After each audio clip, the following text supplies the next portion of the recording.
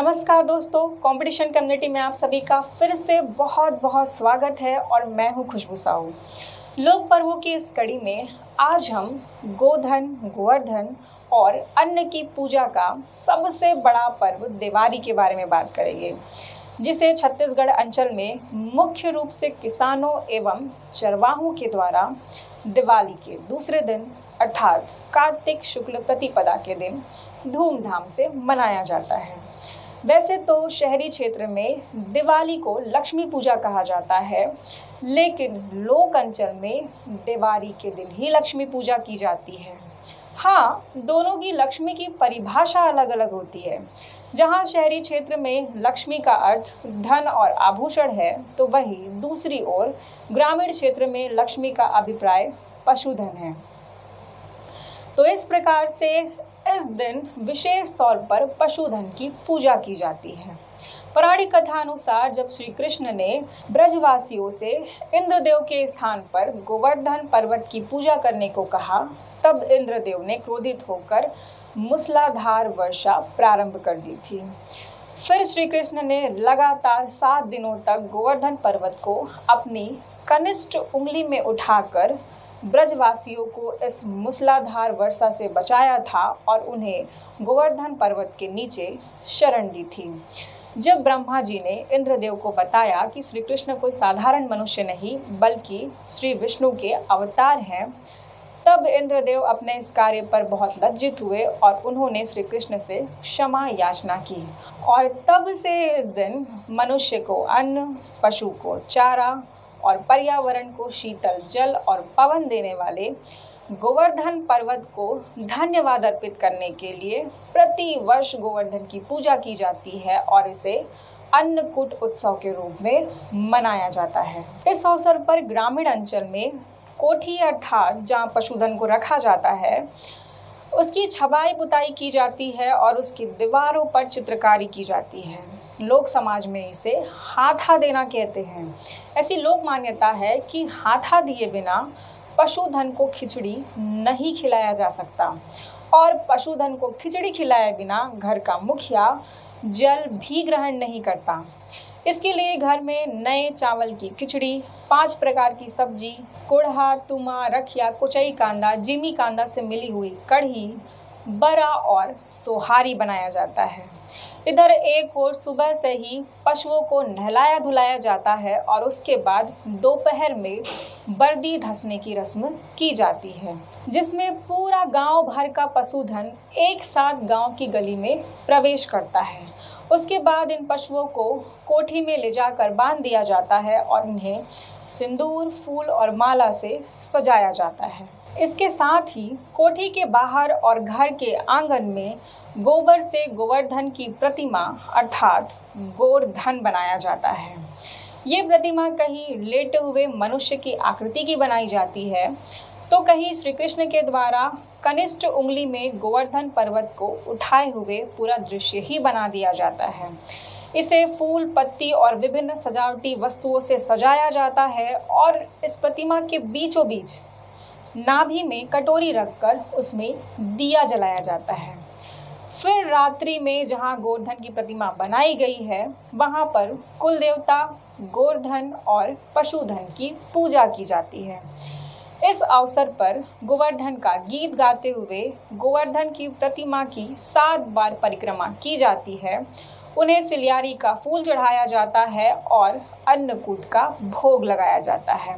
और फिर गोवर्धन जवाने के बाद पशुधन को खिचड़ी, कढ़ी, बरा और सुहारी खिलाया जाता है और उसके बाद सभी लोगों के द्वारा प्रसाद के रूप में इस भोग को ग्रहण किया जाता है।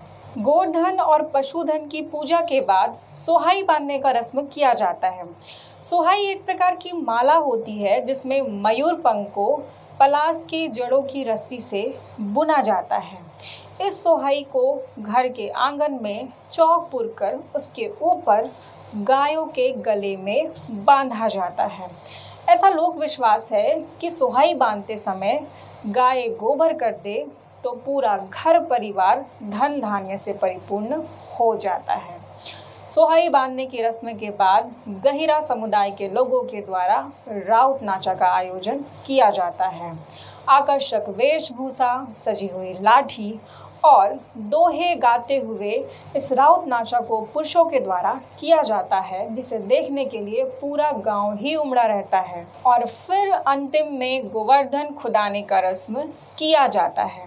इस अवसर पर ग्राम के देवता सहड़ा देव, जिसका स्थान या तो दहिहान में होता है, या तो गाँव के अंतिम छोर में होता है।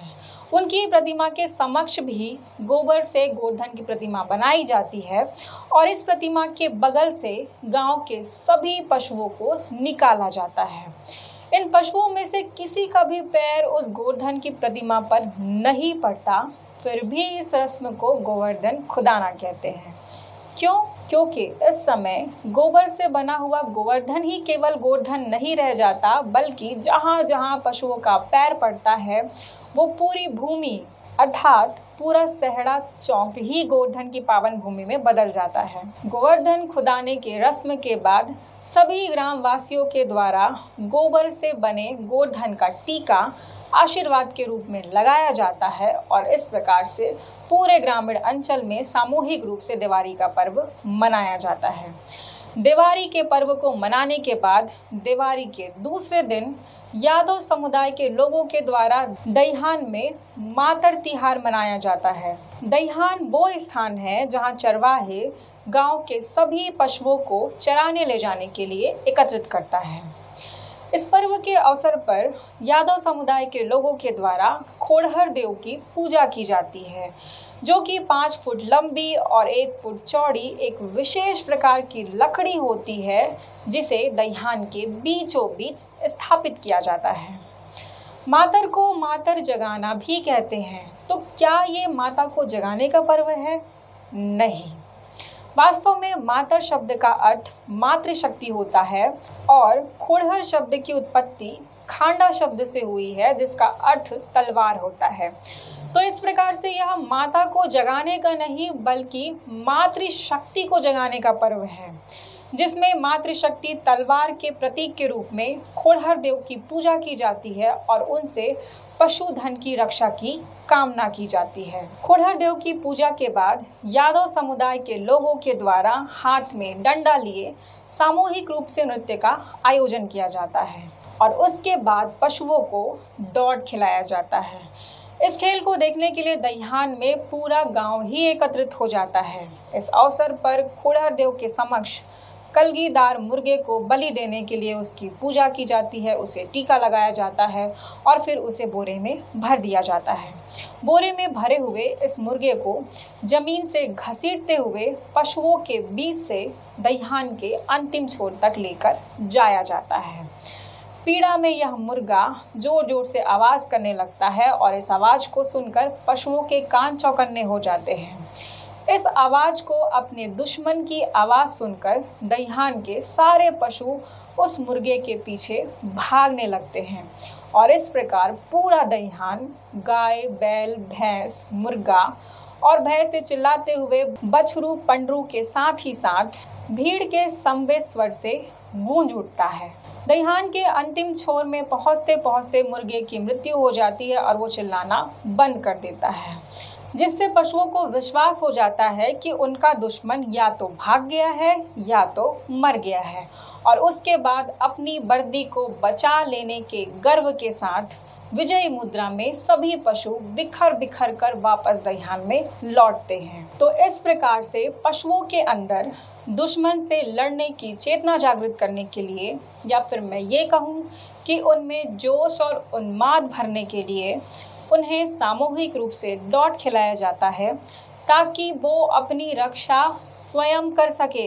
और फिर उसके बाद दहिहान में मातर भोज का आयोजन किया जाता है, जिसमें विशेष रूप से प्रसाद के रूप में खीर खिलाया जाता है। तो इस प्रकार से पशुधन के महापर्व दिवाली और मातर तिहार को लोक अंचल में सामूहिक रूप से मनाया जाता है।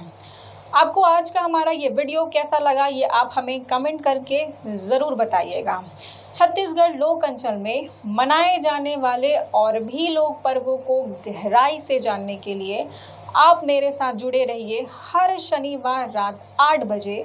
धन्यवाद। सीजीपीएससी की संपूर्ण तैयारी के लिए कंपटीशन कम्युनिटी के यूट्यूब चैनल को सब्सक्राइब कीजिए और डेली अपडेट्स के लिए बेल आइकन को प्रेस करना ना भूलें।